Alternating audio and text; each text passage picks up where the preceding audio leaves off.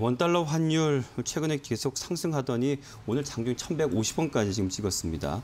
주가 상승 전망까지 나오고 있는데요. 유재 기자가 정리했습니다. 네, 앞서서도 이야기를 해주셨듯이 지금 원달러 환율이 오늘 장중 1,150원을 찍으면서 네. 어제에 이어서 또다시 연중 최고치를 기록을 했습니다. 뭐 델타 변이 바이러스가 빠르게 확산이 되면서 이에 대한 공포심이 좀 자리를 잡고 있고요. 네. 이것이 또한 경기에 대한 우려까지로 이어지면서 지금 시장에서는 위험 자산에 대한 회피 현상이 좀 나오고 있다고 볼 수가 네. 있겠습니다. 이거는 뭐 우리나라뿐만 아니라 이게 글로벌 현상이라고도 볼 수가 있을 텐데요. 네. 뉴욕 증시도 간밤에 하락으로 마감을 했고요. 비트코인 등 가상화폐 가격도 좀 약세를 보이고 있습니다. 여기에다 이제 안전자산들은 반면에 이제 상당히 강세를 보이고 있는데 뭐 지금 환율이 그렇게 오르고 있다라는 점, 원화가 약세를 보이고 있다는 점, 반대로는 지금 달러가 강세를 보이고 있고 또 하나의 안전자산인 뭐 엔화도 상당히. 좀 강한 움직임입니다. 네. 그다음 미국의 이제 국채 금리는 떨어지고 있죠. 그러니까. 안전자산이라고 하는 미국 국채 쪽으로 자금이 쏠리면서 이제 금리는 내려가는 뭐 이런 추세일 텐데요. 네. 왜 그렇다면은 이런 현상이 될까? 그러니까 델타 변이가 생각보다 너무 빠르게 이제 확산이 되고 있고 그리고 이제 선진국들에서도 백신 접종이 확산이 되면서 아 이제 좀 잠재워지나 보다 했는데 이제 새로운 감염자들이 이제 델타로 감염된 분들이 많아지고 하다 네. 보니까 또다시 이제 제2의 공포심이 자리를 잡고 있다고 볼 수가 있겠는데요. 특히 우리나라는 앞서 말씀하셨듯이 코로나19 신규 확진자 수가 1,300명을 넘어서면서 네. 저희가 이제 거리두기 4단계 시행에 들어가죠. 수도권에 네. 대해서는. 그렇기 때문에 그러면 이제는 12일부터는 오후 6시 이후에는 두 명까지만 모일 수가 있어요. 맞아요. 그렇게 되면 네. 아무래도 경기에도 타격을 줄 수밖에 없으니까 이 외환 시장에서도 이런 부분들이 반영이 되는 것으로 음. 보입니다. 그래서 지금 시장에서는 이제 환율은 결국 계속해서 상승세를 이어갈 것이다라는 전망이 나오고 있습니다. 다만 지금 아직까지는 우리 수출 경기가 매우 좋기 때문에 어느 정도의 좀 상승 압력은 좀 제한을 할 것이다. 뭐 이런 얘기도 있어서 우리가 왜 1,200원이라고 하면 완전한 이제 위험 국면으로 넘어가는 것이라는 인식이 있기 때문에 네. 거기까지는 아니더라도 음. 일단은 상승세로는 방향은 잡을 것이다. 뭐 이런 전망 나오고 있습니다. 네. 어, 지난해 3월 이제 팬데믹이 아주 절정을 막 치달을 때 그때 원달러 환율 1,300원 수준까지 올랐었는데 그때를 비교하면 뭐 그렇게 높은 건 아니지 않겠는가 생각할 수는 있지만 그래도 이런 환율 움직임에 대해서 시장이 주목하는 이유가 있겠죠. 네, 맞습니다. 그러니까 말씀하셨듯이 작년 3월에 3월에 이게 1,300원 아니어도 거의 그 부근까지 음, 올라갔었어요. 그래서 네. 그걸 고려하고 지금 차트를 보더라도 어느 정도 이렇게 계속해서 박스권 움직임 보이다가 이 박스권 이제 상단을 위로 좀 올라간 정도인데 어, 요즘 오늘 뭐 어제 계속 기사들이 이제 계속 환율 기사 나오니까. 어, 왜 이렇게 환율에 이렇지? 네. 라는 생각을 하시는 분들도 계실 것 같습니다. 근데 왜 이렇게 시장에서 이 환율에 주목하는가 하면 그동안 우리나라 같은 경우에도 수출 경기가 매우 좋았습니다. 좋았죠. 네. 거기에다가 글로벌적으로 위험 자산 선호 현상이 좀 강화되면서 뭐 주식이고 뭐고 다 오름세였고요.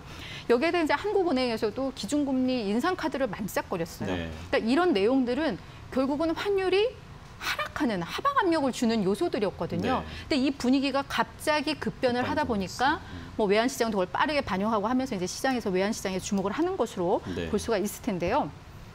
특히 이 주식 시장에서는 이 환율을 더 주목하는 것은 어떤 수급과도 영향이 음, 좀 깊기 때문입니다. 그렇죠. 특히나 이 외국인 수급에 좀 밀접한 영향이 있는데요.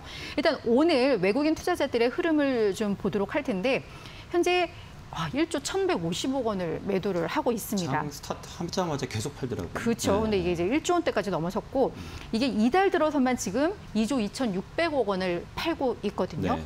근데 이게 외국인 투자자들이 결국은 위험 자산 회피, 뭐 한국의 코로나 확산 이런 것 때문에 주식을 파나 보다. 음. 뭐 그러면서 이제는 그럼 달러에 대한 수요가 늘어나니까 환율이 오르나 보다. 원화가 약세로 가나 보다. 그래서 여기까지 생각을 해도 사실 좀 깝깝한 상황인데 이게 또 문제는 이런 식으로 해서 계속 환율이 올라가다 보면은요. 이게 원화가 약세가 되면 외국인 투자자들이 어느 지점에 가면 이게 또 환차손 국면이 돼요.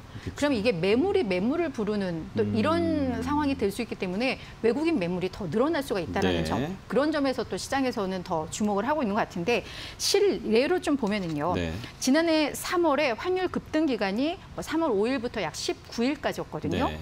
이때 환율이 1,181원에서 1,296원까지 음. 급등을 했었는데 네. 이 기간, 그러니까 10일 거래일 동안 외국인이 8조 5,700억 원을 순 매도를 했고요. 네. 이때가 코스피가 가장 저점이었던 1,439포인트를 찍었던 그 지점이에요. 네. 그러니까 이게 외환시장, 경기 상황, 이 모든 것이 이제 맞물리면서 주식시장, 뭐 수급에 다 연관이 미치다 보니까 우리 시장에서는 주목을 하고 있습니다. 그래서 그런 상황들을 면밀히 체크를 하시면서 시장의 어떤 방향성, 전략 이런 것 좀 세우셔야 될 것 같습니다. 네. 자, 최근에 분명 시그널이 계속 보이긴 했었습니다. 뭐 금도 계속 올랐었고요. 안전자산, 채권 금리 또 이쪽에 돈이 몰렸었고요. 이해라 기자. 네. 네. 최근 포착된 것들 좀 정리해 주시죠. 네, 이 안전자산 선호 심리를 좀 우리가 대표적으로 확인할 수 있는 여러 가지 지표가 있는데 그 중에 좀 대표적인 것이 미국의 장기 국채 금리를 확인을 해보시면 좋을 네. 것 같아요. 그런데 이 미국 10년물, 그러니까 10년 만기 국채 금리가 최근 들어서 하락세를 계속 보였고 전일에는 1.2%대까지 보였거든요. 그런데 이 국채 금리가 하락을 한다는 것은 국채 가격은 오른다는 뜻입니다. 네. 반대로 가기 때문에 어, 그러면 국채 금리가 지금 하락세를 보 이고 있다고 했으니 국채 가격은 높아지고 있는 건데 그럼 이 가격이 왜 높아지느냐? 그만큼 수요가 늘어났다는 그렇죠. 것이거든요. 그렇기 때문에 이거 미국 국채 그러니까 안전한 자산으로 자금이 이동하고 있다. 이렇게 우리가 판단을 해볼 수 있는 것이 바로 이런 안전 자산에 대한 선호가 강화되고 있는 그런 추세를 우리가 확인할 수 있는 지표고요. 두 번째가 이 달러 흐름에 대해서 이야기를 해주셨는데 이와 관련해서 전승지 삼성선물연구원이 코로나19 재확산 우려로 추세를 확인하고 있다면서 이 달러원 환율 상승 베팅이 당분간 이어질 가능성이 크다고 또 언급을 했습니다. 그리고 우리가 또 한 가지 확인할 수 있는 것이 바로 이 가상화폐인데요. 최근에 변동성이 좀 커지고 있죠. 그리고 하락 조정세가 좀 이어지고 있다는 그러한 이야기들이 많이 언급이 되고 있습니다.